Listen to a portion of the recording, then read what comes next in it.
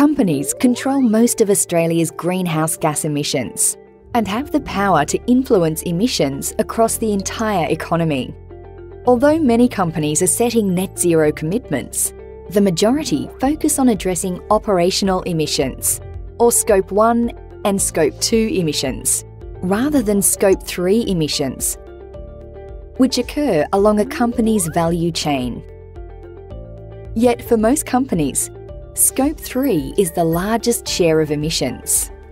Because of this, global investors, customers, suppliers, regulators, and employees expect companies to address these emissions to prevent the worst effects of climate change.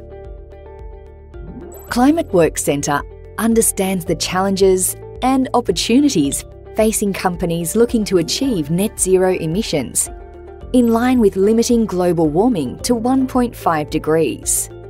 And that most organisations are grappling with where to start, how to have the most impact, and how to monitor, measure, and collect and share data.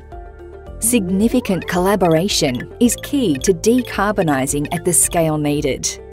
The best way to start addressing the complex challenge of reducing Scope 3 emissions is for companies to work with their value chain partners on opportunities to capture and share emissions information and work together towards a common goal.